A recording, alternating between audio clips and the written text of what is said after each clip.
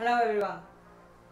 This is my 10th video and I decided to make nikujaga with beef, carrots, potatoes and shirataki. And it's very popular dish in Japan, yet very easy to cook. Let's get started.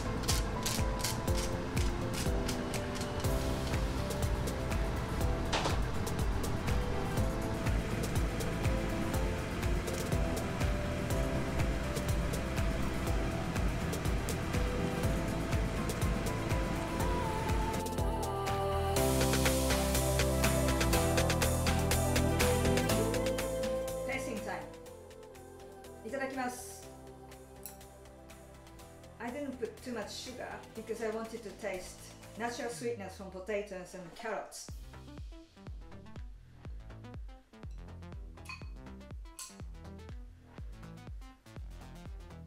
Umai. Umai. It's a different character by the way. But anyways, you should try this definitely at home because it's so easy to cook yet surprisingly delicious. Anyway, time to say goodbye. Stay safe, eat healthy, and take care. See you next time.